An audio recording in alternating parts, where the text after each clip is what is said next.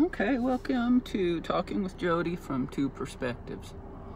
Again, this is the second time we're doing this two perspective thing on Talking with Jodi. This is uh like Friday, oh, I guess it's the Friday the 13th. I'm not really a sus, sus, sus, sus, not, suspicious? No, yeah, I might be suspicious, but um, what is it? What's the word I'm trying to think of? Man, I'm so tired of it. I've got this sinus infection, and that's just fucking up my already addled mind. But uh, I think my mind has been addled for some time because of this. Oh, wait, just a second. Because of this uh, deal.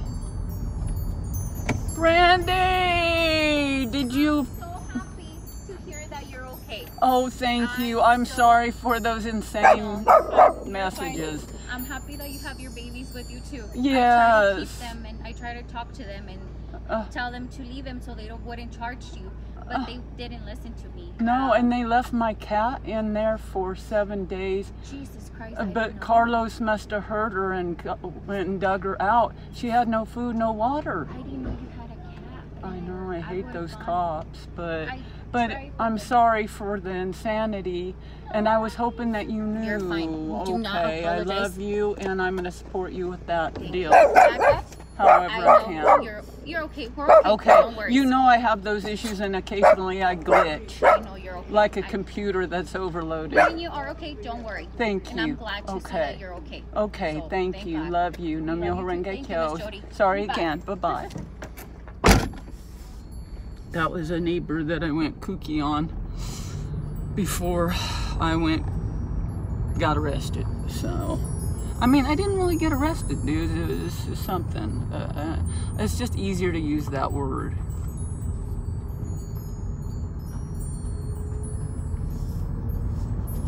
Okay. Um, dog, uh, baby girl, come here. Baby girl's just kind of hunkering down and walking backward, like I keep saying. Uh, but I, but it helped her take a run for getting up on the bed. But anyway, um, yeah, my dog, I'm glitching. My dogs are glitching.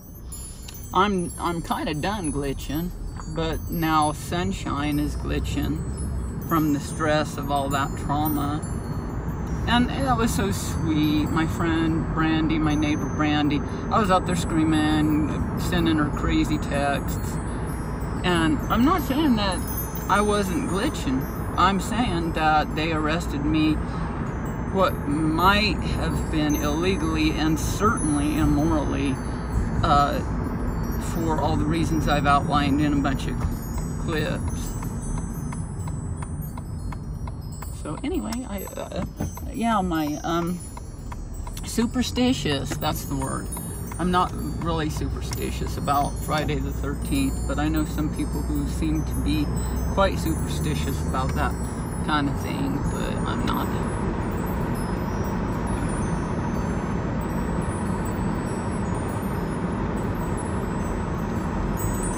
Let me see if I can move my seat. There's my cornucopia. I got a whole bunch of shit. Not shit, I mean really nice stuff from yesterday. And I'm happy about it. I love my stuff. I when I first started practicing Buddhism, there's some videos of me talking about, oh, stuff doesn't matter, stuff doesn't matter. I'm glad I had that attitude because I have tons of stuff. If I had thought stuff mattered, I'd have way more. And if you count all the stuff that I have either given away $60,000 worth, I tracked it. Not meticulously, but in a general sense, I tracked it. So $60,000 worth of stuff I've given away, and all of the stuff that has been stolen from me and Darren, including money, three vehicles. One was an RV, one was a van, and one was my car. And um, uh, money, $9,000. worth of cash. And tons of, you know how I love clothes. I always acquire tons of clothes and they've taken tons of my beautiful clothes, faux furs, costumes of all kinds, and uh, art supplies, and tons of actual art, furniture, a leather jacket that originally cost 500 bucks that I got before I ever came here. It was a gift to me and a Harley jacket and now somebody else got that. Lucky fucker. But, and some, uh, another Harley, I don't know what it's called. It's in one of the videos, but uh, I can't think of what it's called right now.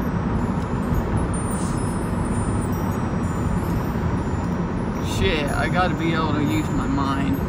I mean, it's just this sinus stuff. I hate sinus stuff. I hate talking about sinus stuff. But let's get honest, it's, affecting me a little bit. And the gods told me this morning to get up and go. They didn't say to get up early or anything. I was awake really early. I was awake at like 3.40 and, and slept a little tiny bit since then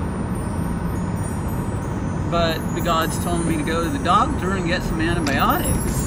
They told me to wear this shirt, and they told me to go in and say to the receptionists um, that I want to see the best doctor in Santa Fe, Isaac Zoller. And so I, you know, that's what they want me to say. I'm not saying that that's what I would normally normally say. I'm saying that's that was what they told me to, to say, so I'm going to get a taco. Like, not quite up for doing that. They're they're not wanting me to wear this wig when I do it.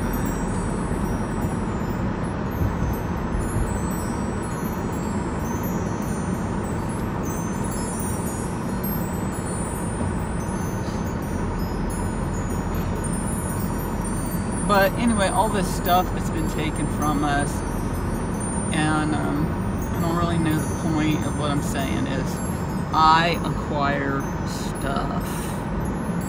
I acquire stuff. And I told my daughter today, with all this stuff that I acquire all the time, that just comes to me like it's in the trash, and then I fill up my whole car with it, and have all this stuff uh, on top of all the stuff I have. And I am going to donate some things to the hospital where last time I stayed there, I brought in a few boxes of donations of clothes and stuff because I appreciate that they give me stuff when I'm in there. This one's gonna have to be called stuff, isn't it?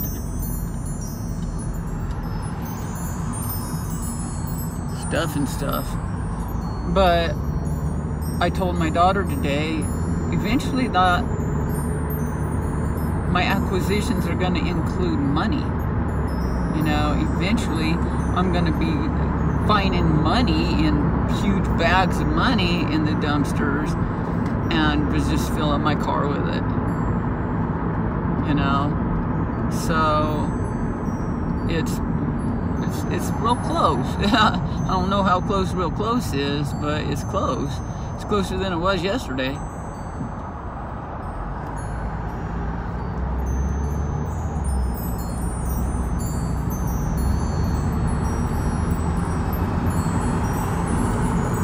My daughter, out of the kindness of her heart and her husband,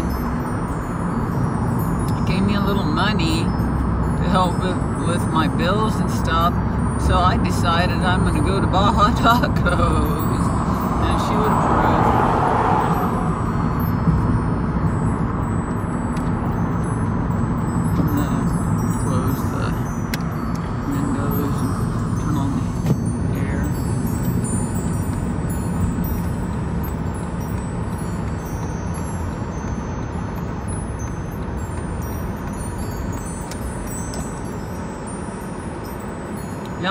Craving tacos. I just do sometimes. I crave tacos. Like, oh my god, I can only like eat a taco. And like yesterday, they told me I couldn't, or the day before, eat any food out because I didn't have the money. So now I have the money and I can go to Baja Tacos, which I've gone to like once in about five years or longer. Don't know if Darren ever went to Baja Tacos with me, so it might be 10 years, once in 10 years. When I first moved here 16 years ago, my kids and I had always ate at Baja Tacos. We loved it. But then I kind of switched over to burritos and went to burrito spot forever. But I just got to have me some tacos.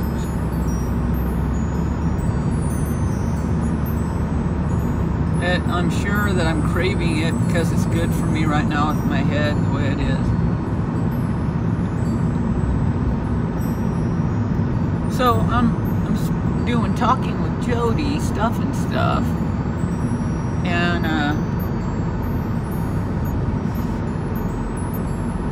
the gods had told me that they wanted me to shoot the video up my nose or you know under my chin and all that so I'm doing that but I'm also doing the second perspective which is in front of me there on the dash facing me more. And uh, I liked that. The last one I did I watched the different perspectives several times and I experienced the clips differently because of it.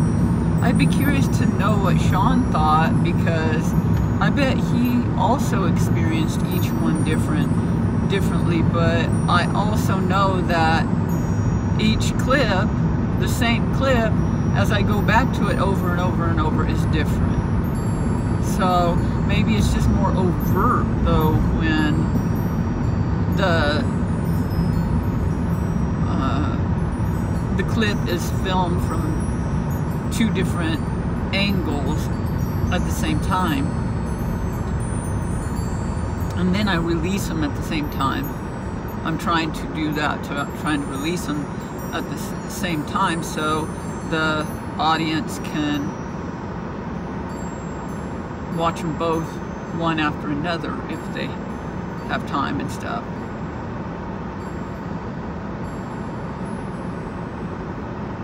and I didn't get a lot of sleep last night or the night before, so I uh, um, I'm not my not at my uh, best. I tried to call Darren a couple times to have him let me bring him some of his stuff, but he must have lost his phone because he hasn't answered or responded which is so Darren. I wish he would keep track of his phone, but that's on him now, and that's one of the things that, you know, I'm kind of overstepping my boundaries to to try to tell him that he needs to keep track of his phone. I mean, it's obvious, but it's not my business now. And that's why I kicked him out, so I wouldn't have to have that as my business.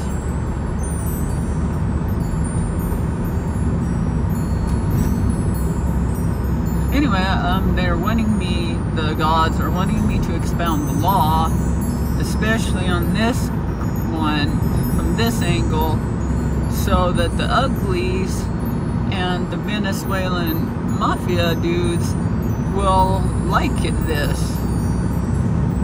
show.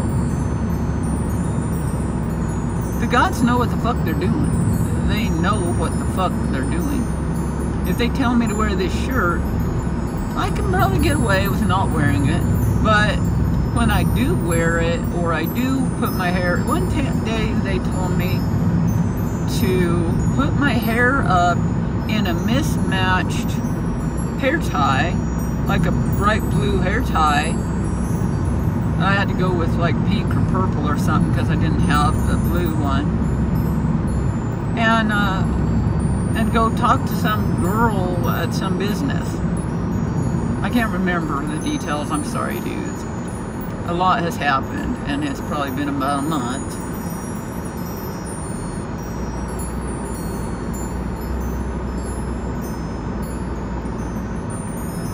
But when I do it, a lot of times I can go back and say, oh, I see the wisdom in that.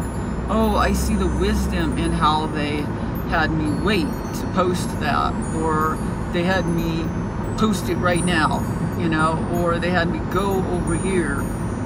Like, I've uh, been driving around going, man, I really want to run into Jeff. He's in Texas right now, but before he left, I really want to run into Jeff. And uh, then I was sitting there at a stop sign, stoplight, and my head kept moving to the right, and Jeff was sitting in the car next to me, you know?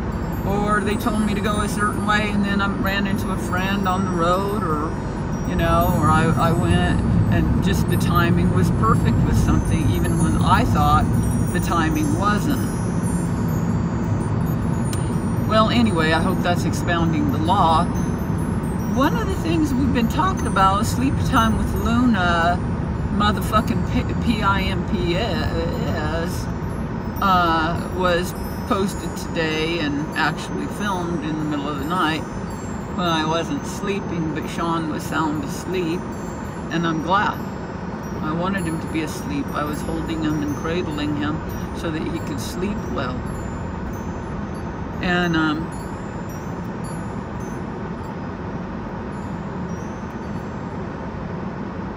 uh, I'm almost Baja Tacos, but um, it talks about how the practice of Nichiren Buddhism. It's a very specific Buddhism. There's none like it. You go, what? That's Buddhism? I'm like, what? Buddhism? A religion? What? Uh, that's weird. That's the exact opposite of how you think of Buddhism.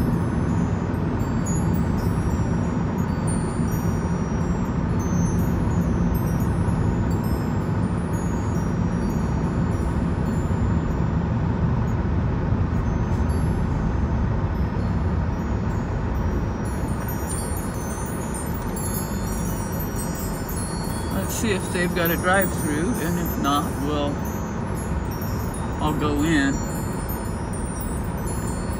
Yeah, I think they do.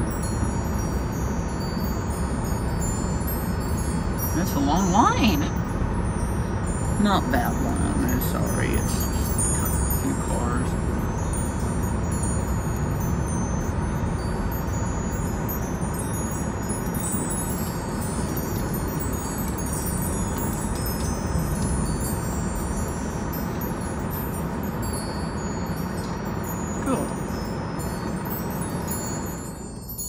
So we, I talked Luna and I talked about how Nichiren Buddhism is about lessening our karmic retribution, or another way of saying it is expiating our karma, or cutting our karma, or mitigating our karma, like making our karma come out where we only experience a portion of it through this practice and expiate it, make it go away.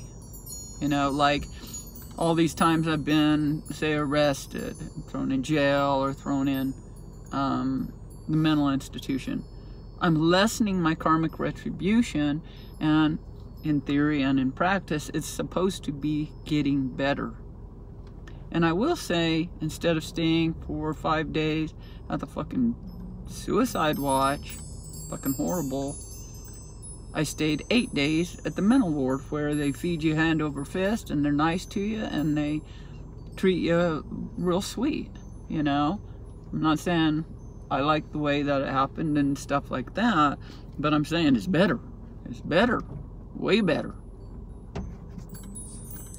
And may it continue to get better and never be worse, you know? But I don't know future but it's whatever karma is like before I started practicing Buddhism I was never arrested uh, it wasn't even a thing not even a thing not even close to a thing but once I started practicing Buddhism I, it, it says Nichiren says that well, the Lotus Sutra says, shit, sorry, dudes. The Lotus Sutra says we are, um, we will be banished again and again. It says they will be banished again and again, the practitioners. And whenever I heard that, that I would be banished again and again, I don't know what it is about me. I'm uh, telling you guys uh, the way that I connect with this Buddhism. I was like, I fucking can't wait. I just love the idea of being banished again and again. And believe you me, I have been. That stopped. Not really. Um, I think I've been banished from a couple places since I went kooky. Um, but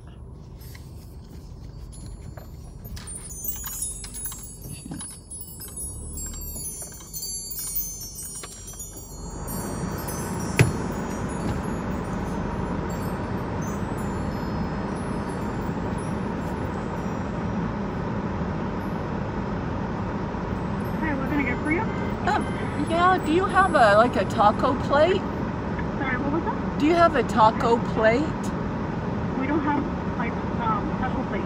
Okay, how about I go with four ground beef tacos with How many? four, Four?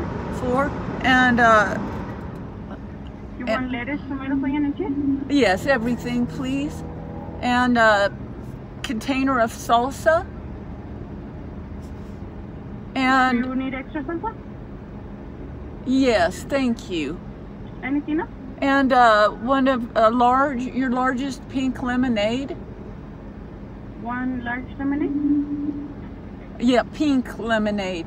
What else? Oh, okay, thank you. Sorry, what was that? Uh, one, your largest pink lemonade.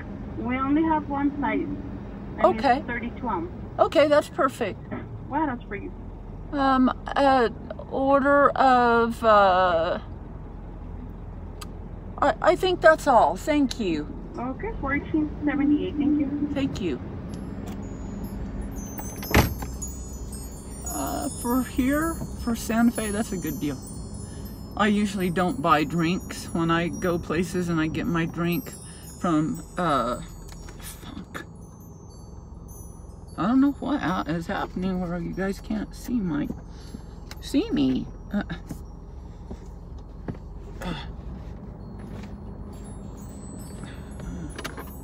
there. You're supposed to be able to see me. Probably perfect. Um, I usually buy my drink from McDonald's and it costs like less than two dollars. But I'm like, what the hell? I'm just gonna buy one. I don't know why I'm cranky. Well, honestly, it's because I have a mixture of this sinus thing and um, I haven't slept really to speak of. I require a lot of sleep, dudes. So if I could get a normal person's amount of sleep and it would not even come close to what I need.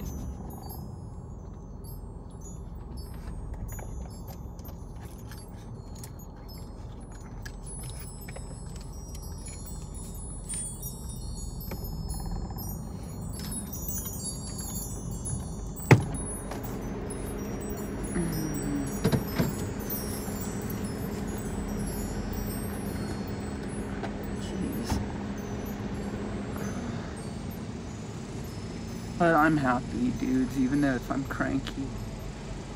Hi. Hi. 1478. Oh, thank you.